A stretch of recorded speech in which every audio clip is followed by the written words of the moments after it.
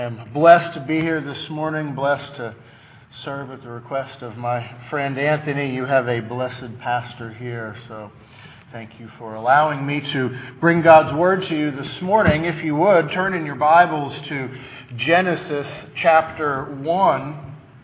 We're going to spend the majority of our time this morning in the first few chapters of the book of Genesis.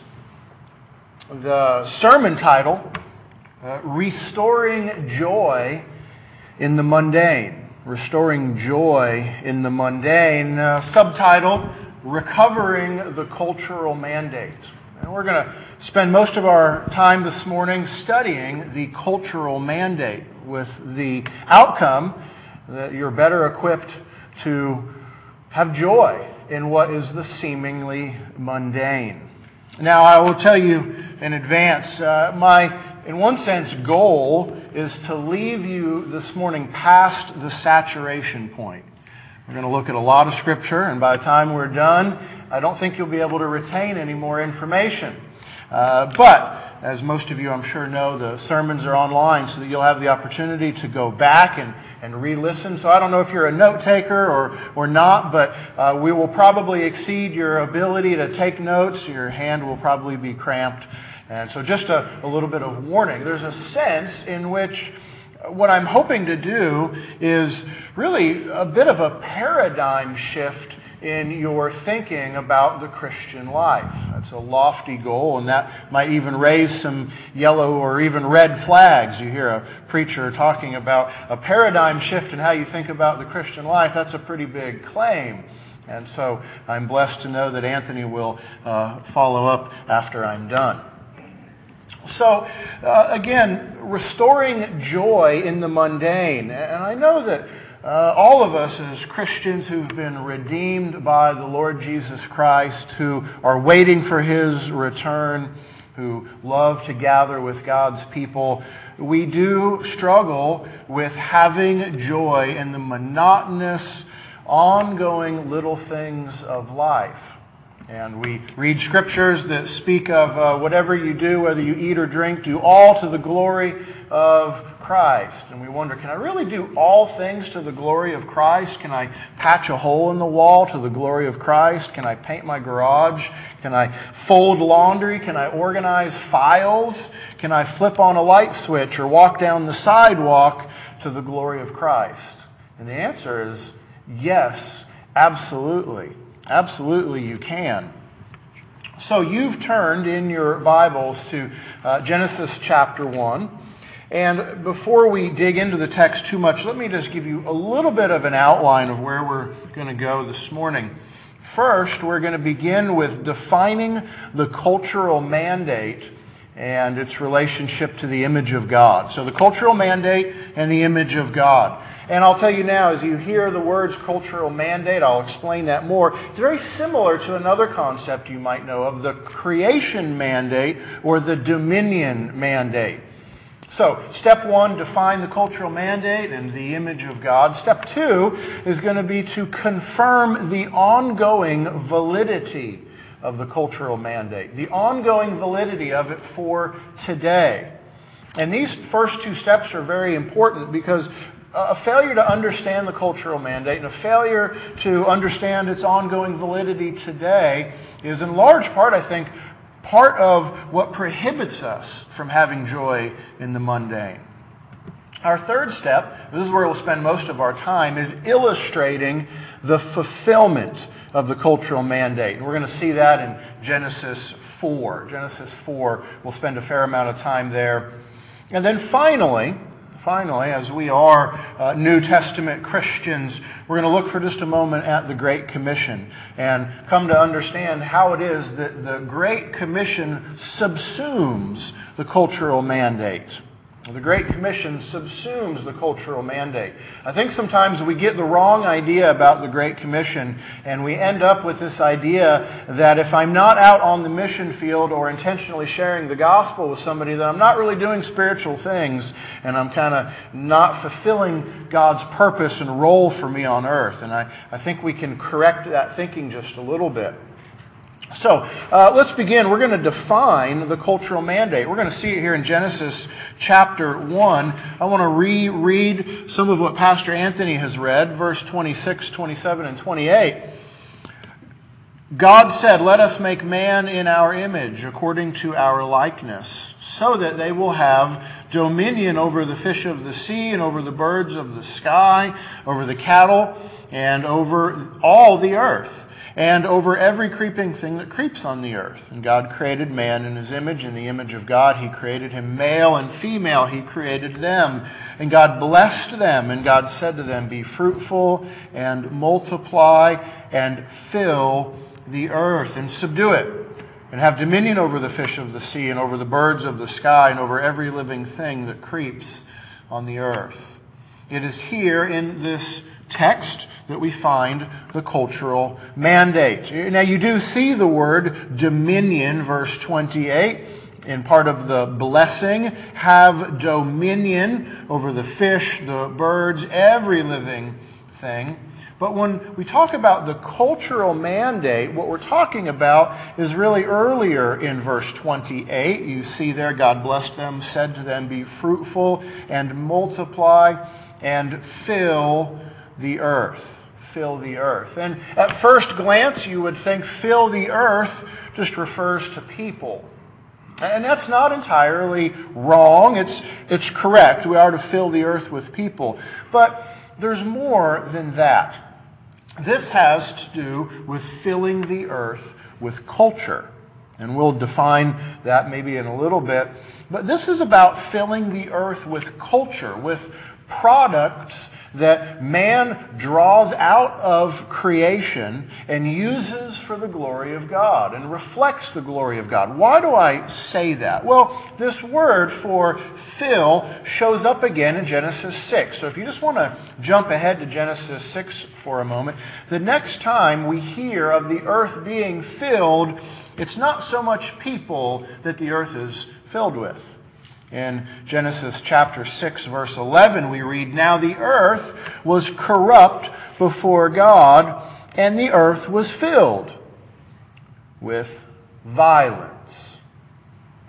The idea is that we are to fill the earth. And the earth, in fact, got filled before the flood, but it wasn't with God glorifying culture. It wasn't with the culture of life. It was with the culture of death.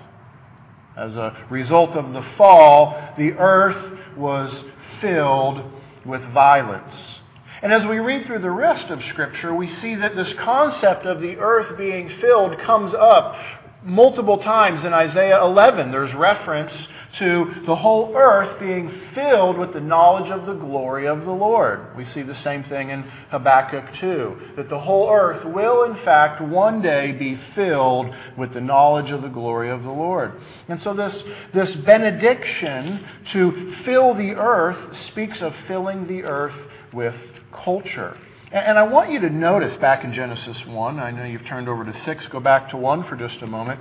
You have to understand the imago Dei, the image of God. We hear a lot of talk about the image of God, and rightfully so. Because of the image of God, we know of the sanctity of human life. We look at the sanctity of human life as it relates to uh, the issue of the American Holocaust, uh, abortion, uh, the, the murder of, of the innocent by the number of tens of millions.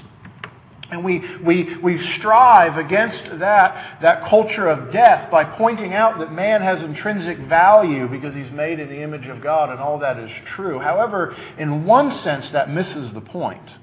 The, the intrinsic value of man is a secondary point to the image of God. The primary point to the image of God is found right in the text of 126. And I am reading from the Legacy Standard Bible, and they do a great job of drawing out what the text is communicating. God said, Let us make man in our image according to our likeness, so that you see that language there. So that there is a purpose in being made in the image of God according to God's likeness. What is the purpose? That they will have dominion. So the reason we're made in the image of God is to carry out the cultural mandate. Yes, we have intrinsic value, and yes, we should defend human life and the sanctity of life. But that's a side point. The primary point from Genesis is that we were created in the image of God for the explicit purpose of filling the earth with God glorifying culture. That's why we were made in the image of God. And I could just give you a couple quotes to help you see some, some other thinkers on this topic. Now, some of you will be familiar with a uh, systematic theology textbook uh, by uh, Pastor John MacArthur and Dick Mayhue. They did a systematic theology book. I refer to it as the, the White Whale. It's a big white book called Biblical Doctrine. Listen to what's written there. Human culture has roots in Genesis 1 through 2. The command for man to rule and subdue the earth and its creatures is often referred to as the cultural mandate, since man was to use his abilities and status as God's image bearer to control the creation on God's behalf. This included the land, vegetation, animals, birds, and aquatic creatures. And in Genesis 2:15, God put Adam in the garden of Eden to work it and to keep it. Man was given an earthly vocation in this created culture. Culture includes works, art, music, education, and all areas where man interacts with his environment. God is the creator of culture, and man is called to carry it out, that's the cultural mandate, on God's behalf. So this isn't a, a, concept that I have made up. This is a concept that theologians have long since recognized. And as a matter of fact, in the, later in that same section of the book, uh, the authors write, in sum, God created culture. He made a diverse world and tasked man to rule and subdue it for his glory. There's no dichotomy between God and culture or man and culture. God expects man to successfully rule over his creation. Although the complete fulfillment of this expectation awaits Jesus' kingdom in the world to come. What you should draw out of that that textbook definition then is the ongoing nature of the cultural mandate. Uh, they wrote that God expects man to successfully rule over his creation, although the complete fulfillment of this expectation awaits Jesus' kingdom in the world to come. So, having kind of defined the cultural mandate and seen it from the text, I want to kind of move to confirming the ongoing validity of the cultural mandate. That you and I are to be carrying it out today. And to do that, I have a couple places I want to look. We already hinted at it from the, the text from the Bible Doctrine book. But we could go back to the Westminster uh, Confession. Many of you familiar with the Westminster Confession, and in particular, the Westminster Shorter Catechism. Um, uh, there's a, uh, one of the Puritans, John Flavel, he wrote a commentary on the Shorter Catechism. And in question one, which many of you know, what is the chief end of man? Now the answer, man's chief end is to glorify God and to enjoy Him forever. Well, Flavel has a commentary on that question. And this is what he asks. And remember, this is hundreds of years ago. He says, seeing a chief, that is a chief end, seeing that there's a chief end of man, seeing a chief supposes an inferior end. What is that inferior end for which man was made? He's saying, since there is a chief end, what are the, what are the inferior ends that we employ to finish that chief end? And here's how he answers it it is prudently, soberly, and mercifully to govern, use, and dispose of other creatures in the earth, sea, and air over which God gave man the dominion and then he cites Genesis 1:26, the text we've already read. Let us make man in our image according to our likeness and let him have dominion. And then he adds in Psalm 8. You have made him, speaking of man, to have dominion over the works of thy hands. Thou hast put him, put all things under his feet. So, whether it's uh, the MacArthur book that gives us the ongoing expectation of the mandate, or whether we go back hundreds of years to this exposition of the shorter catechism, we see that men in church history have understood the ongoing nature of this mandate. But we want to ground our argument in Scripture. So, just turn over to Genesis 9. Because some will come along and say, yeah, you know, that mandate was before the fall. That was before the fall. After the fall, that ruined everything. Or that mandate was before the flood. Now we have a new creation post flood. Okay, well, Genesis 9 is after the earth is filled with violence. God has washed the earth, so to speak, with a flood, and he's hit restart with Noah and his sons. And in 9 1, what do we read? God blessed Noah and his sons and said, Be fruitful, multiply, fill the earth. There it is, restated post fall, post flood for our time period. So, the ongoing nature then of this cultural mandate. So, not only is it pre fall, it's also post fall, post flood, but here's where it really gets fun. Go to Gen- I'm sorry, go to Revelation 21. It's not only pre fall and post fall, this extends all the way into the eternal state. And this is a really important portion of Scripture because when we, when we fail to realize what eternity is going to be like, we fail to realize what we should be doing now. So, in Revelation 21 and 22, you're turning to 21. Uh, the Apostle John is shown the new heavens and the new earth. In Revelation 21, verse 10, John says, He carried me away in the Spirit to a great and high mountain, and He showed me the holy city, Jerusalem, coming down out of heaven from God.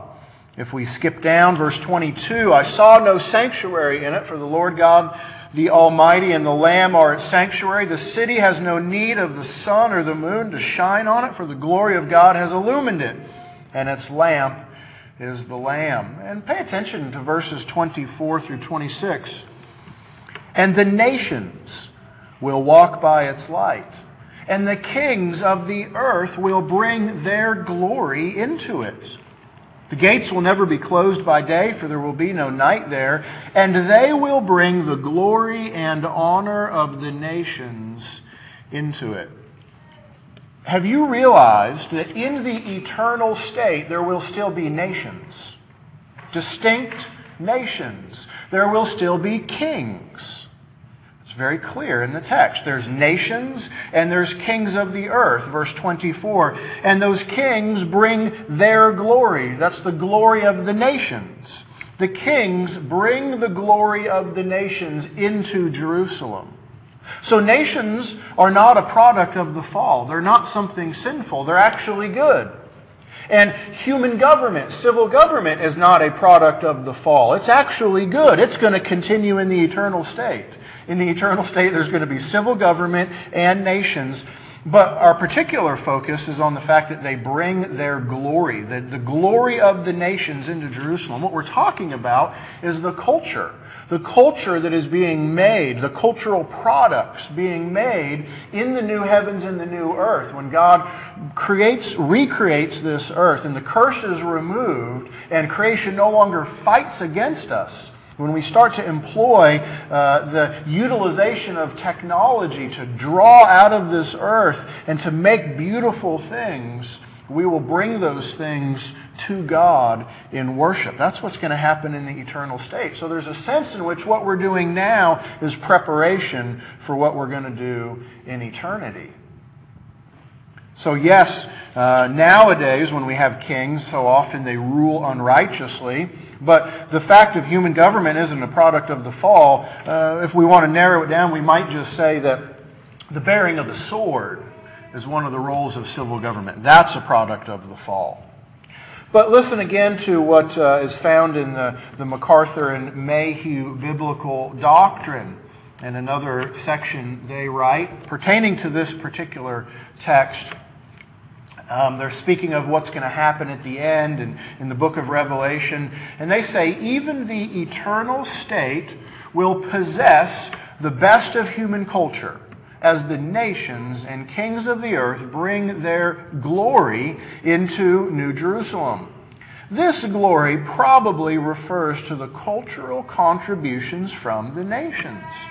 All the culture during this time will exist for the glory of God and its headquarters will be the New Jerusalem made of pure gold and precious jewels. So we see then what the cultural mandate is, and its tie to the image of God. We see that it was a, a mandate before the fall, after the fall, after the flood, and man is still going to carry it out in the eternal state.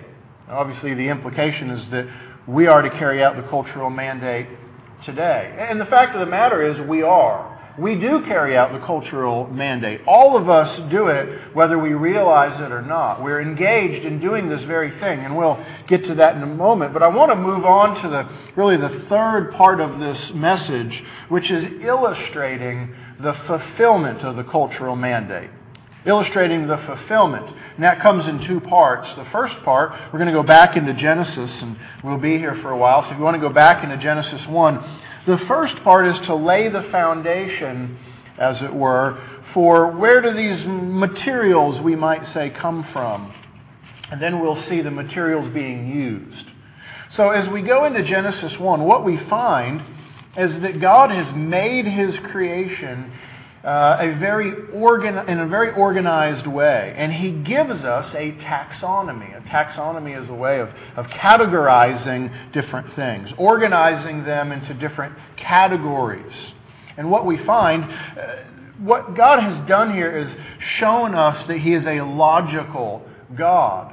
And he breaks things into categories for us to study. And a lot of this, I'm not going to show you anything new because there's nothing there's nothing new under the sun. What I, the, the way you might think about this is I've always wanted to go on one of those Grand Canyon tours where you float down the Grand Canyon and you go with somebody uh, like Answers in Genesis where they provide a geologist to point out to you the, the layers and layers of sediment and explain to you, oh, this layer was laid down, then this layer, and look, there's fossils over there. They're not putting anything new into the ground. They're helping you to see what's already there. And that's kind of how I'm going to function. I'm going to be your guide in Genesis to help you see what's already here that you might have just passed by and never noticed. So even look at the first verse. In the beginning, God created the heavens and the earth. That's a taxonomy, right? The earth, that's geology. That's our study of geology. And then the heavens, we've got meteorology and astronomy, right? I didn't say astrology, astronomy. So we've got geology and meteorology and astronomy. And then we can break this down into more categories of creation. Chapter 1, verse 10. God called the dry land earth, and the gathering of the waters he called seas. Now we've got geology contrasted with oceanography. We got earth and we got seas. How about verse 11? Let the earth sprout vegetation, plants yielding seed, fruit trees on the earth bearing fruit after their kind with their seed in them. So within the realm of geology, study of the earth, we've got biology, the study of life. And here in particular, we've got botany. That's the, the study of the plant life. And then we can focus it down even more because the text does dendrology Dendrology is the study of woody plants and shrubs and trees, and it's right there in the text. Let the earth sprout vegetation and plants yielding seed. And then it speaks of fruits. That's, the, that's pomology. So God is telling us, hey, you can do pomology, dendrology, all under the categories of botany, under the category of uh, biology. You go to verse 14. God said, Let there be lights in the expanse of the heavens to separate the day from night. Let them be for signs and for seasons and days and years. Uh, verse 16 God made the two great lights, the greater light to rule the day, the lesser light to rule the night, and also the stars. Now we're into astronomy. We are to study these things. Remember, they are for signs. We can skip to verse 20. God said, Let the waters swarm with swarms of living creatures. Let the birds fly above the earth and the face of the expanse of the heavens. Now we get into zoology. We, uh, it's a subcategory then of biology. We get zoology. Well, the waters, we've got aquatic biology. We can study what's in the freshwater. We got marine biology, the saltwater uh, life. Here we have mention of fish. That's ichthyology. God is delineating for us all these different categories of what He's made that's distinct and different from the others. Uh, there's birds in the expanse. That's ornithology. You might have heard people say, yeah, you know, Genesis isn't a science book. That's true, but it's got an awful lot of sciences mentioned in it. It's full of sciences. Uh, look at verse 22. That's where God blesses them. Uh, that's what he just made, these great sea monsters of verse 21, and the fish and the birds. Verse 22, be fruitful, multiply, fill the waters in the seas. And they just do it. Whenever God blesses them to do something, they just naturally do it. You can go on to verse 24. We move to mammalogy. God said, Let the earth bring forth living creatures after their kind cattle, creeping things, beasts of the earth after their kind, and it was so. So we got mammalogy, we got entomology, that's the insect world, we got herpetology, that's amphibians and reptiles, and everybody's favorite, arachnology, spiders and arachnids. All these different categories that God has made for us to, to study and have dominion over and to utilize. And finally, we reach the pinnacle, verse 26 anthropology, the study of man. Let us make man in our image according to our likeness, so that they will have dominion over the fish of the sea, over the birds of the sky, over the cattle, and over all the earth and every creeping thing that creeps on the earth. And God created man in his own image. In the image of God, he created him. Male and female, he created them. And God blessed them and said to them, Be fruitful, multiply, fill the earth, and subdue it and have dominion over the fish of the sea and over the birds of the sky and over every living thing that creeps on the earth. And so here we get to our anthropology that man and woman made equal in essence in the image of God for the explicit purpose of filling the earth with culture and having dominion over all that God has made. And so we can see here that all these different categories of study well, what I want to do is, is focus in a little bit tighter because there, there is more. In chapter 2, we move on and we learn a little bit more about anthropology. Uh, chapter 2, verse 7 Then Yahweh God formed man from the dust of the ground, from the ground, and breathed into his nostrils the breath of life. Man's created differently. Everything else, God just spoke it and it existed. Here, God actually takes dust and creates man and then breathes life into him. Go to verse 8. Yahweh planted a garden in Eden. Now we've got two locations here. Two different locations. So the garden is in Eden, right? So it's like a park inside of a city. Uh, Eden is the city, and then there's a garden. And this brings us then to the study of horticulture horticulture, uh, the science and art of gardening. And God created it. God created horticulture. And He put man in the garden for the purpose of learning horticulture. And in verse 9, the study of botany and ethnobotany. Uh, look with me at verse 9. Out of the ground, Yahweh God caused to grow every tree that is desirable in appearance and good for food. Uh, two more categories here. Number one, aesthetics. God chose, or that's a good way to say it, I guess. He chose which trees are the ones that are desirable in appearance. This is the study of beauty. And what we see here is that be- the beauty is objective. It's objective, it's not subjective. Uh, when we say beauty is in the eye of the beholder, that's partly true. The beholder's God. And God de- determined which of his creation was desirable in appearance. And what's fascinating, you can Google these terms at another time golden ratios and Fibonacci sequences.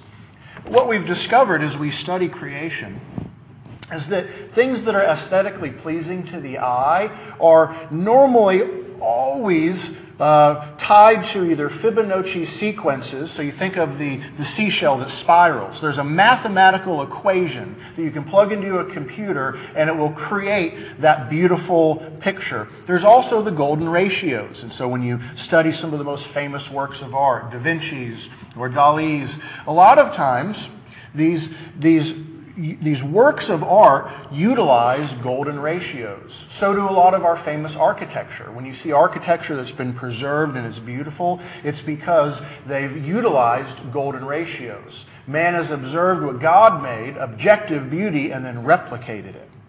But not only is there this, uh, this ethnobotany, where uh, ethnobotany is the study of human relationships with, uh, with botany, the, its, its usage and its utilization for food and medicine and tools and decorations. So not only then do we have aesthetics, but we also have food, right? And we, we know that. There's not only the trees that are desirable, desirable in appearance, but also those good for food. And as we mentioned earlier, pomology. That's the study of fruits. And so Adam and Eve would be in the garden and they'd be able to taste all of these different fruits and, and notice the differences in flavors and textures. then we move on to verse 10. Now a river went out of Eden to water the garden. And that makes sense. Gardens need water. And so there's a river, and it goes out and it waters the garden. And from there it divided and became four rivers. Well, we got some more studies we can do. We can study potamology. That's the study of rivers. If you just want to study rivers, you study potamology. Also here we have the study of hydrology. Because if you're to if you're going to utilize water for the garden, then hydrology is particularly studying the distribution and management of water. And as some of you this morning probably crossed over one of the washes where all the rain collects and then it gets washed out into the ocean. Not a very useful way to collect rainwater. But this is what Adam and Eve were to do. They were to study this usage of water. And as these rivers go out, they go into four more rivers. It splits. And look at what you have in verse 11 and 12. The name of the first is Pishon. It is the one that went around the whole land of Havilah where there's gold. Now, the gold of that land is good, and the bdellium and the onyx stone are there. Why do we need to know that?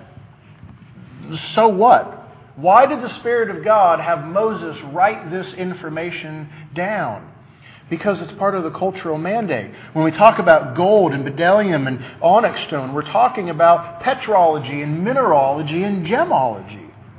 All these things that we're to use to worship God. Adam and Eve would go and they'd walk along these rivers, and as they would dig, they would discover these precious things in the ground, and then they would use them for the worship of God. You think about when God would have Israel create the tabernacle and, and the, the high priest, he would wear jewels on his breastplate. And so many things would be made out of gold. All of these things that God put into the earth, he expected man to draw out of the earth and use them as worship. And we call that culture. And so the, the picture here, the picture here, as it culminates in verse 15, Yahweh God took the man, set him in the Garden of Eden to cultivate it and to keep it. The picture is that God puts man and woman into the garden. He's given them a template. Here's objective beauty. Here's food. Here's, here's an irrigation system. Here's things with, with seeds in them that will self replicate. And these rivers go out across the earth. Now, what you're to do is go and expand the garden. Go out and copy the template I've given you. Go out and follow these rivers, dig materials out of it, dig resources out of it, create irrigation and canals, and turn this whole earth into this beautiful garden. Subdue it. And use the animals. You want to harness them, whatever you want to do, harness what I've made and use it for my glory. That's what man was supposed to do. And we know the fall came in and made that a lot more difficult. So that lays the foundation for the carrying out of the cultural mandate that I told you we were going to watch it actually play out. We were going to illustrate it, and that's what we're going to do next. And it's right here in the text. We're going to go to Genesis 4. It's fascinating that God actually spends the time to show us the carrying out of the cultural mandate. It's right there in the text. I just need to point it out to you. I don't have to jump through any hoops or do any uh, hermeneutical gymnastics to make this work. It's just right there in the text. Uh, by way of reminder, at this point, the fall has taken place in Genesis 3. And what God has revealed in 3:15 is that there's two lines of people. There's the seed of the serpent and the seed of the woman. They're at enmity to one another. So all of humanity breaks into these two, these two lines, these two seeds. And what we're going to see in Genesis 4 is Cain's line, the fallen line, carrying out the cultural mandate. And this is going to cover a period of somewhere about five to seven hundred years. And you think about what's happened since the Protestant Reformation. We just celebrated the 500, 500th anniversary a couple years ago. And you think about all that's changed in 500 years when there was no printing press and then all the technology we have now. It was about five to 700 years in what we're going to look at. It doesn't tell us that in Genesis 4, but in Genesis 5, we get a, another lineage. So, Genesis 4, Genesis 5 give us parallel lineages Cain's line, Seth's line. Genesis 5 has Seth's line, and it tells us how long people live and how old they are when they have kids. And so in Genesis 5, as you trace these seven generations, it's uh, almost 700 years. And so if you, if you take those numbers and bring them back into Genesis 4 with Cain's line and seven generations, it's probably five to 700 years. That's how much is contained here, uh, time wise. So let's jump in and take a look at the carrying out of the cultural mandate. We know that Cain has murdered his brother. Cain is of the evil one, John tells us, 1 John 3:12. And then we get Cain's line, verse 16. 4:16 Cain went out from the presence of Yahweh and settled in the land of Nod east of Eden. Then Cain knew his wife, and she conceived and gave birth to Enoch. And he, that's Cain, built a city and called the name of the city Enoch after the name of his son. Well, what we have here then is the beginning of urbanization, the first city. We, we call it urbanization. Uh, this is where man starts to draw out of the earth material resources and create it for dwelling places. He's, he's forming what God has made into something new. And it, it looks like what actually happens is um, because of the, the verb that's used here, the aspect of the verb, it's not that he built a city, it's that he was building a city. He wasn't able to complete it. So he passes it on to his son, Enoch, and then the city is named Enoch. You normally name cities after their rulers. And so Enoch is the ruler of the city because Cain was supposed to be a vagrant and a wanderer. And so it appears God doesn't let him fulfill this plan. But he starts the process of urbanization. That's verse 17. Now we get Enoch, and in verse 18, uh, we're going to cover hundreds of years with just these generations in one verse. To Enoch was born Irad. And Ir in uh, Hebrew is the word for city. So he's thinking about cities. He names his son a derivative of city. Enoch was born Irad, and Irad was the father of Mehujael. Mehujael was the father of Methushael. Methushael was the father of Lamech. And God spends a lot of time telling us about Lamech. Spends a lot of time telling us about Lamech. Uh, we have, I think it's six verses about him from 19 all the way to 24. Six verses. And so let's kind of dig in just a little bit here. Verse, uh, we'll start in 19. Lamech took for himself two wives. Now, this word took we haven't heard it in a few chapters. Last time we heard this word is when Eve took of the tree of the knowledge of good and evil. Lamech took two wives, not what you're supposed to do. And follow the, the logic here in this agrarian culture. The more wives you have, the more kids you can have. The more kids you can have, the more labor you have. The more labor you have, the more product you have. And the more product you have, the more wealth you have. Lamech is empire building. This is the reason for multiple wives. He doesn't have a wife and a concubine, a wife and a mistress. He has two families, essentially, because that multiplies the labor, it multiplies the output, and therefore multiplies the wealth. Lamech is a very, very intelligent man, though evil. And we learn, it's interesting, the text turns away from Lamech and traces his children. He took two wives. One of them, verse 20, her name was Adah, and she gave birth to Jabal. He was the father of those who live in tents and have livestock. And when you stop and you think about what this is communicating, it's fascinating. So uh, they live in tents and they have livestock. Now, back in chapter 4, we know that Cain, it tells us, 4 2, uh, Cain was a cultivator of the ground. So we already have farming. And Abel was a keeper of flocks. That would be like small animals, sheep, uh, goats. But here, now we have some specialized uh, professional ranching. These are professional ranchers. These are big, not, not game, but livestock. We understand that word. And so uh, this, this son, Adah, he's the father of those who live in tents and have livestock. He's got giant flocks of livestock, and they eat so much that the men have to live in tents to be nomadic to keep them fed. They have to keep traveling to keep these animals fed. These are the first professional ranchers. And you think about how, how highly specialized this would have to be. Think about the specialization of breeding these animals, feeding these animals, uh, the logistics of moving them around, the logistics of making tents, repairing those tents. These are highly specialized trades that are developing as man carries out the cultural mandate. They look at the animals, they look at the things in the earth, and they convert it uh, into products that are usable and an incredible amount of, of work and wisdom. Now we have another brother, and he's carrying out the cultural mandate, as we all do. Verse 21 the other brother, his name is Jubal. He's very, very different. He's very different. He's the father of all those who play the lyre and the pipe. And so you can just imagine the difference between a, a, guy who invents musical instruments and a guy who's out being a, a, a rancher.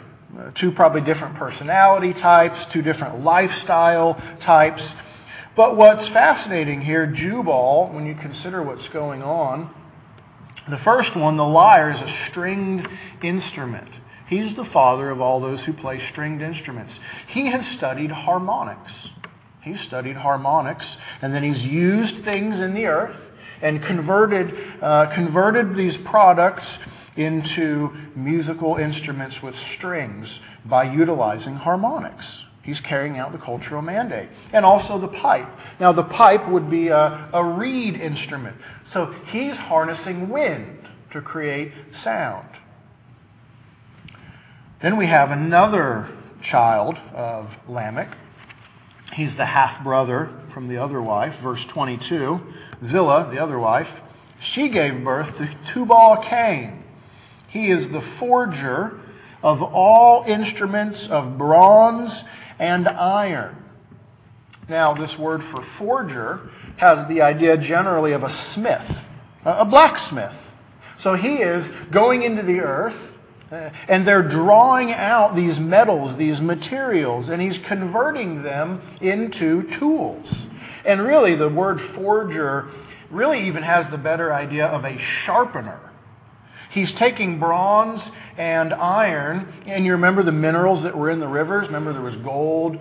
He's, he's been going out, he's been recovering all these materials, and he's sharpening them into tools and probably weapons. That's probably what he's developing. So culture is just exploding. Weapons, tools, stringed instruments, musical instruments, tents, cities, uh, shepherding, ranching. This is all within five to seven hundred years. Man is carrying out the cultural mandate. All these specialized vocations. And then we come back to Lamech. And Lamech is a Lamech is a bad dude. He's the pinnacle example of an ungodly culture. And uh, some people speculate as to why the text is in the order that it is. We had Lamech, then we had his kids, then back to Lamech. Why give us his kids first and their accomplishments? Well, let's read verse 23 and we'll answer that question. And you should note, I suspect your Bible has verse 23 indented, kind of like in the Psalms. It's indented because this is a song. This is, in, this is Hebrew poetry. He wrote a song. Lamech might be the he might be the originator of gangster rap. He writes a song about murder and vengeance. Read it. Adah and Zillah, hear my voice. You wives of Lamech, give ear to my word, for I've killed a man for striking me, a boy for wounding me. If Cain is avenged sevenfold, then Lamech seventy sevenfold. This is a vicious man. He writes a song about murdering somebody. And I think it's quite reasonable to think that he probably used one of his kids' musical instruments. He walks in, he's got one of his son's metal instruments that he just used to kill somebody. Then he takes up the other son's musical instruments and he calls the wives in and says, Hey, come listen to this little ditty. And then sings a song about murdering somebody. This is the cultural mandate being carried out by the ungodly. And God takes the time to show us what it looked like. He didn't need to include all of this in the text of Genesis, but He wants us to see that man does carry out this mandate. Man does go out into the earth, and we naturally whether it's animals, whether it's natural resources, whether it's the harnessing of the laws of nature, we do, in fact, carry out the cultural mandate. It's what we're supposed to do. All mankind does it. And if you're still not convinced, all you have to do is just look at children. Many of you have raised little children, and what you'll notice Little children, they have an insatiable desire to create and to build and to construct and to color and to sketch and to, to beautify. They just naturally do it. Give them blocks or give them crayons and they're set. They can't help but do it. It's because that's what they were designed to do by God. Now, children, they don't do it to the glory of the Father, they do it to the glory of their spiritual father, which, as we all know, is Satan. And we, we then hope for the regeneration, pray for the regeneration of our children. But all of mankind is carrying out the cultural mandate. And that's exactly what you were doing when Christ saved you. Whether you realized it or not, whether you were intentional about it or not, you, in fact, were carrying out the cultural mandate when Christ saved you. You are participating in art and in music and in technology and in building and constructing and organizing things, specialized vocations. You were carrying out the cultural mandate, whether you realized it or not. But you were doing it to the glory of your spiritual father, Satan as Ephesians 2 would tell us. Right? The, the, unbeliever walks according to the power of the ruler of this world, the power of the air, the ruler of the air in Ephesians 2. And we've been transferred from the kingdom of darkness into the kingdom of the beloved Son. So you were carrying out that mandate in the kingdom of darkness under the spiritual power of Satan, and Christ has come along and he's set you free. And now, in Christ, you have the opportunity to do what you're supposed to do for the glory of God. You have the opportunity, even as we sang about this morning in some of those songs, all creation sings. I pray that you have been rescued by Christ. I should never assume that everybody in a church building has, in fact, been rescued by Christ. I pray that you do know the gospel, and I'm thankful that Pastor Anthony is a faithful gospel preacher, and that if you come here to this church, you'll hear the gospel. And so let me then remind you of the gospel that each and every one of us were by nature children of wrath. Right? You don't have to teach children to snatch a toy from another little toy or to bite another little kid or say mine or to disobey their parents. It comes naturally to them because we are by nature sinners. And we are by nature then alienated from God, hostile to God. Oh, we like the things that God can provide. We like the gifts of God. We like the creation of God. We just don't like the God of creation. And so we're sinners. And why do we sin? Because we're sinners. Right? We're not sinners because we sin. We sin because we're sinners by nature. And that's a problem since God's standard is perfection and He's created a hell for all rebels. He's created that hell for all rebels, which you and I all were. And the plan from all of eternity was that God the Son would come down and live a perfect life. He'd carry out the cultural mandate. We don't know what he was doing for those full 30 years, but he wasn't sitting around twiddling his thumbs. He kept the law perfectly without ever sinning. And then he went to the cross, and on the cross, he bore the wrath of God for everyone who would ever believe upon him. Everyone who would ever believe upon him would have their sins paid because we can't pay for our own sins. We can start the payment in hell, but the payment will never be fully made, and that's why hell is eternal. But the God man can complete the payment because he is eternal, and he did complete the payment. And so the good news, the gospel, is that every person who comes to Christ, who turns away from their sin and their unbelief and turns to Christ in faith, full faith, that He alone is the way to have your sins paid for. He alone is the way to have the righteousness God requires. Coming to Christ, you can be transferred from the kingdom of darkness into the kingdom of His beloved Son. Everybody who comes to Christ will be saved. And then we get the opportunity to be ambassadors of Christ. Think about how fascinating that is. We who were rebels, who served in the kingdom of darkness quite contentedly, we served in the kingdom of darkness. We get commissioned by the king to go out and proclaim the king is coming back. He is, in fact, coming back. And when he comes, every knee is going to bow and every tongue is going to confess that Jesus Christ is Lord. Whether that's because your knee is smashed and your tongue is forced, Every tongue is going to confess. But here's the deal the king has sent me in advance of him, and he's offering you terms of peace, terms of surrender, incredible terms. If you will turn from your rebellion, not only will this king forgive you, he'll adopt you into his family, and you'll be a co inheritor of all that he has. He'll forgive you, he'll bring you into his family, and he'll even set you to rule and reign on the new earth with him. Now, this is a limited time offer.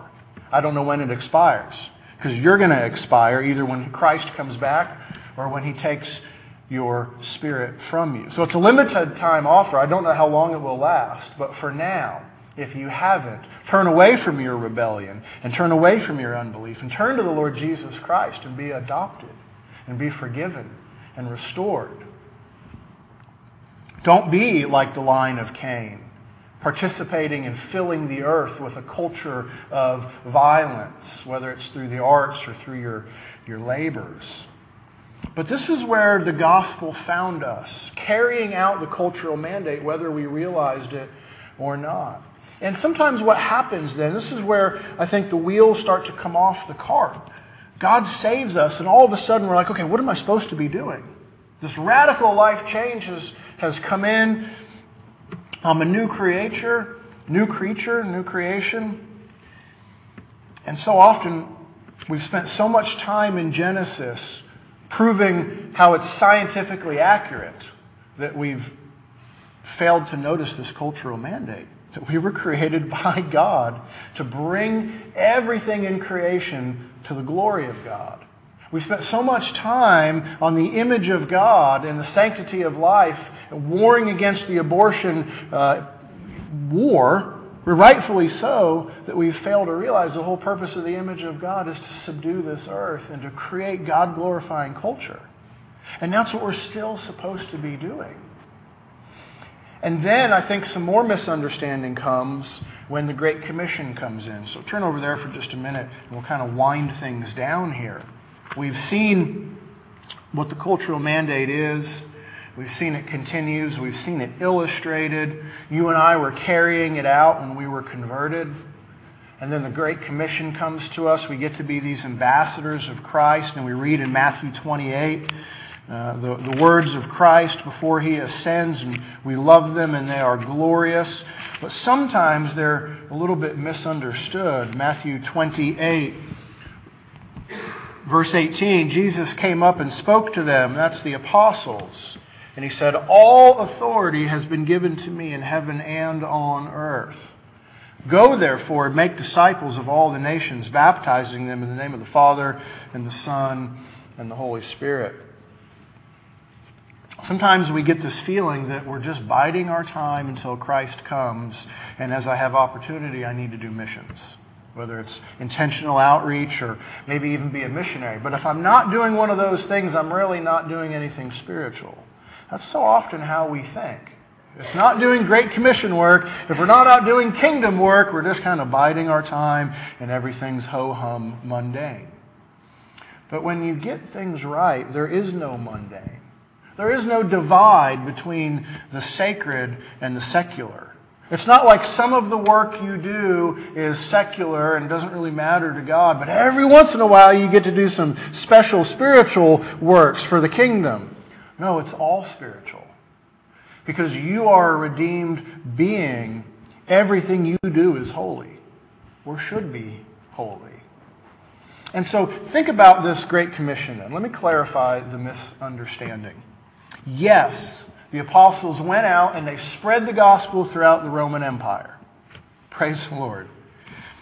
But follow the logic of what happened. When they went out and people were converted in these different cities across the Roman Empire, did all those people drop what they were doing and go out as missionaries? No.